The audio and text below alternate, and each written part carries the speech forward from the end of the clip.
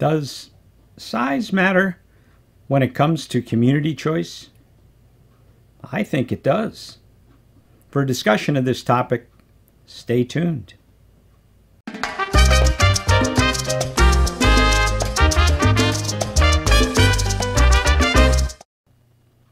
Hello, I'm Russ Watson. I created Florida Manufactured Home Living to enrich the lives of manufactured homeowners and educate the public on its benefits. In this video, we will explore the differences in communities based upon size. These differences apply whether it's a land lease community or a resident owned community, but we'll use land lease for examples in this video. Understanding how size affects life in the community will help you make a decision that's right for you. As a bonus, I'll talk about ways to determine the character of a community in a park. Let's dig in. I know I've heard this somewhere lately. Size matters. Many aspects of community life in a park are enabled by or prohibited by the size of the park. The Villages is the largest Florida community I know of that includes manufactured housing. A simple search on YouTube will find you plenty on this property. The largest land lease park in Florida is Colony Cove in Ellenton. Listed by DBPR at 2,211 lots, it is huge. Spanish Lakes Fairways, at about 1,200 lots, is more representative of the largest parks. All the parks in this category are 55 plus, although some may allow limited numbers of younger folk. For more details on 55 plus, see my recent video. You might notice Spanish Lakes seems to have a mix of conventional and manufactured housing. We will have more on this opportunity in an upcoming video. Be sure to subscribe so you are notified when it's posted. Countryside is an example of a very large park. There are many waterfront homes, and at 642 lots, it's quite big. The very large parks include some family parks. Lot rents in the larger resort parks are about the same as the largest parks, ranging from 600 to 1200 a month. Golden Ponds is a large community at 390 lots. It has the amenities typical of all resorts and a few of its own unique features. 55 plus dominates this category, but there are family parks this size around the state. Lot rents in these resorts range from a little under 500 a month to as much as a thousand or more. Palm Lake Estates, at 204 lots, is a medium-sized community. In this category, there are quite a few family parks around the state. Lot rents range from under 400 a month to as much as 900 or more. This would be a very picturesque spot to hold a wedding. Ranchland is an example of a smaller community that still has a pool and social center. With 107 lots, it is in about the middle of the category. The smaller communities can range from a simple arrangement of homes in a park to exclusive resort enclaves. Lot rents range from under 300 to as much as $900 a month. Coachland Court at 35 lots is a very small park. Tucked away in the south end of Vero Beach, it lacks the appeal of the resorts. Yet for someone seeking the least expensive way to own a Florida home, these small communities present an opportunity. There are a few more wrinkles that could occur in any size community.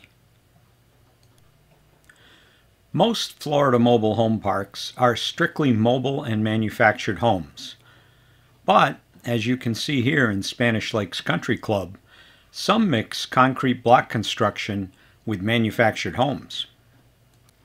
Another one to consider is a mix of RV lots and manufactured homes. Sandhill Shores is such a community.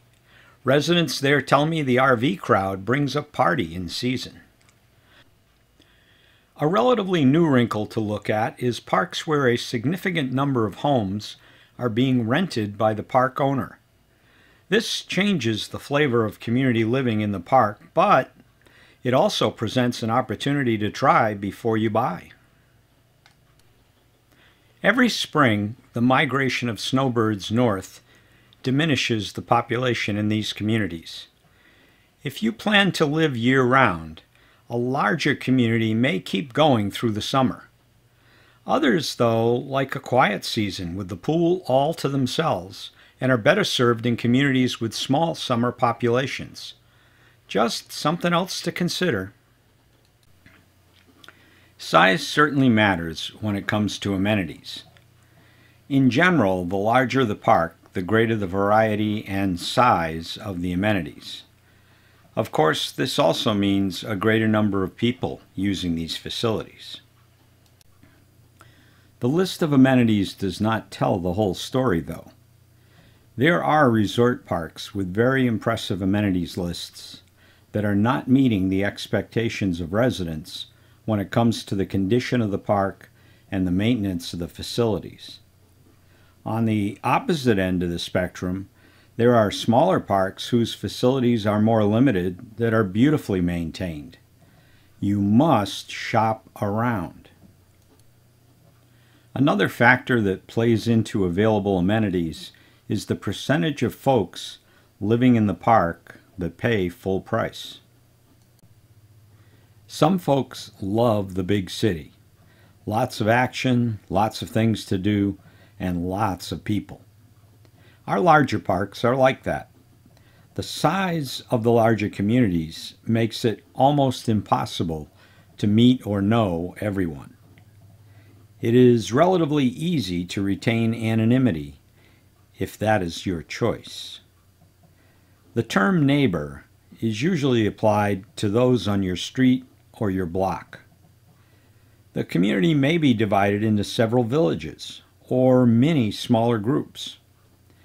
The size of the community makes it difficult, if not impossible, for the entire community to get together.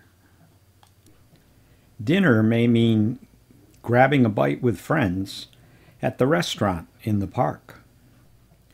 Some folks love a small town. They prefer a slower pace in a place where everyone knows your name. Anyone in the park is considered a neighbor. Often the atmosphere is more like a large family.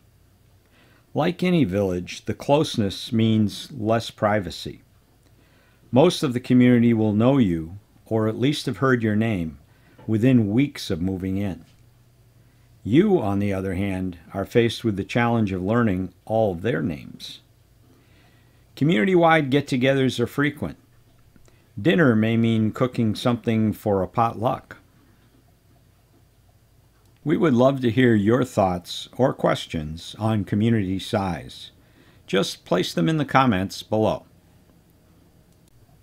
I said earlier we would talk about ways to determine the character of the community.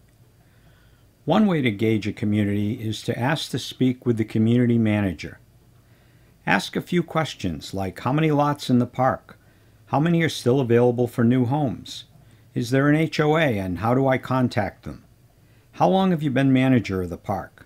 And some general chit chat as to what might be attractive in that particular park. When I was a HOA president, I used to get calls and emails all the time.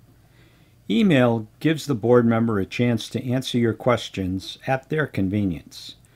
This also allows opportunity for a follow-up to their response.